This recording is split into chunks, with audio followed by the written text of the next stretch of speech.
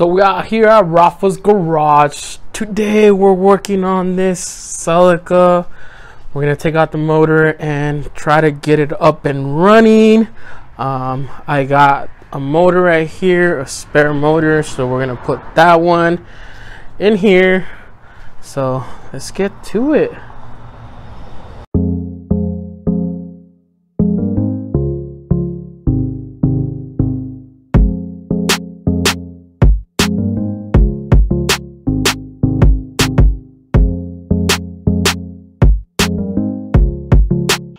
So day two, just gotta disconnect this fucking hose or this plug right there for the power steering. A couple of hoses already disconnected. Header, axles, and this motor should come out. Oh, I forgot the power steering. Gotta disconnect those lines, but most of everything here is already disconnected.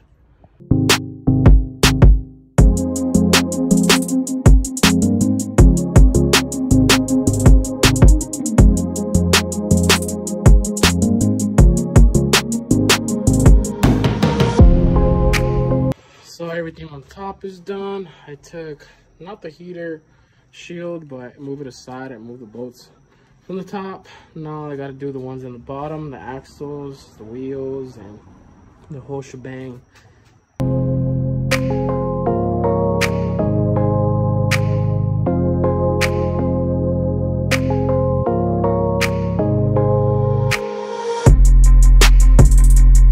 So this side is already out, this axle, and the oil doesn't look that bad.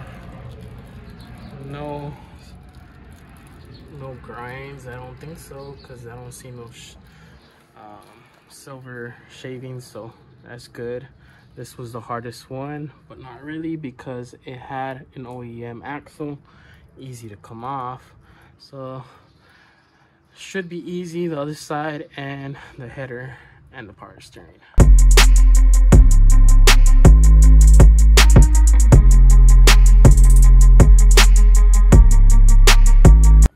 This side is done. Not to go under there and remove the two bolts over there, headers and motor mounts should be done today.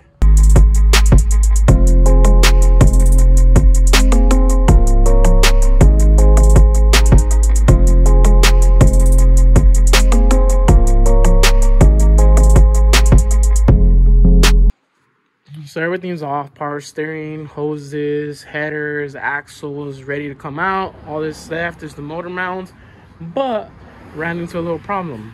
I don't have my chain, so I can't take the motor today. I will get my chain tomorrow. So motor should come out tomorrow. Time to take this motor out.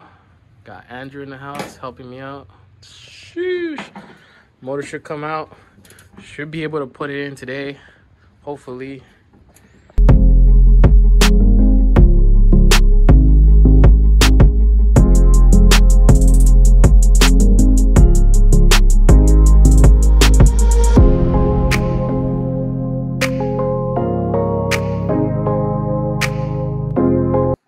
Motors out.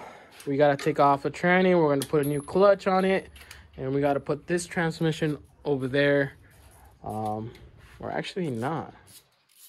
So we gotta take my flywheel out of there and then put this flywheel and then that one has a new clutch. So it's gonna have a new clutch. And we gotta still take off the oil pan because that one has a Moroso oil pan.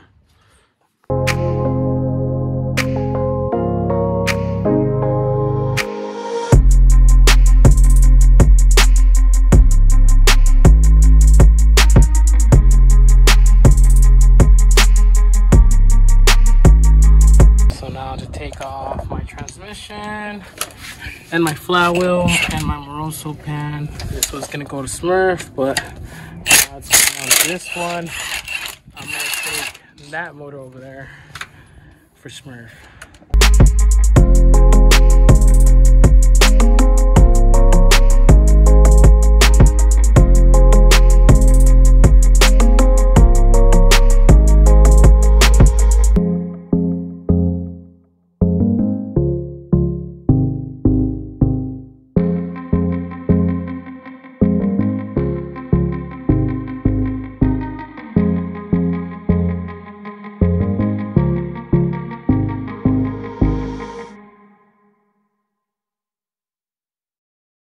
There it is. Everything's back together on this one.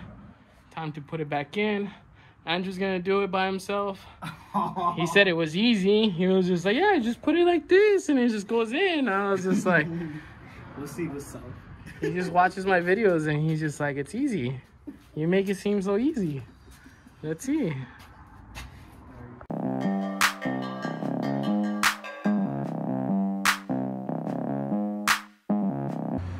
So motors in, all the motor mounts are on there. Now to put everything back together, the AC condenser, power steering, cables, hoses, put coolant, intake, all that stuff. So let's get to it and get this baby up and running.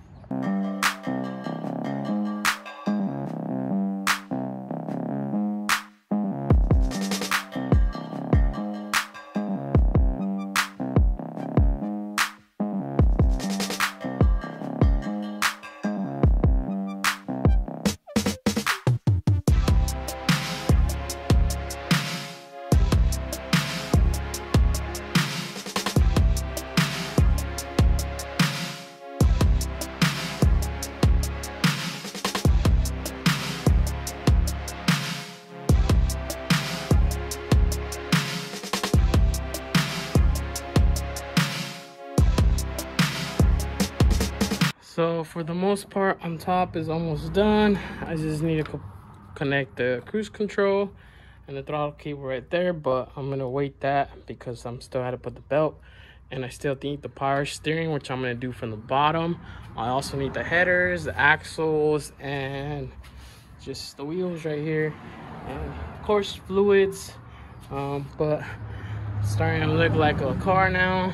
Um, I'm leaving the battery for last because don't want to get locked out or have a short somewhere while I'm working on the car. So that's what I'm gonna do. I'm gonna work on the bottom. So everything in the bottom is done. I just gotta do the sides, the axles. Now I'm gonna do the um, throttle cable or cruise control. I already put the belt, so that's not gonna be in my way anymore. So yeah, hopefully we get it started, fluids, and should be ready to go.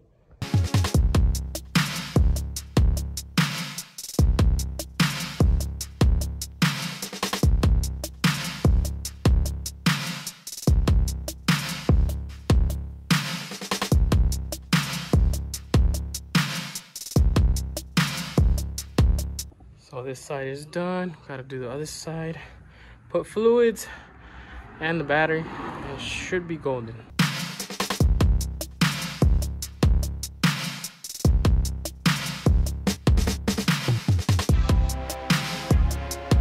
So there it is. Wheels are on. Now to put fluids and start this baby up. Needs engine oil, tranny oil, and coolant.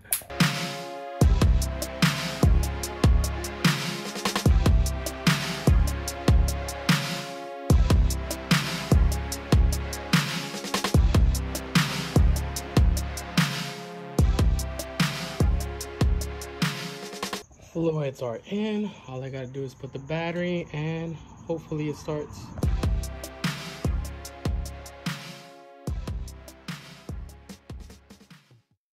So i guess it's not starting today. Um doesn't have gas which is a good thing because this gas was probably like already rotting. so tomorrow i'm gonna go get gas and get it up and running. I would go today but it's already night. Might as well do it tomorrow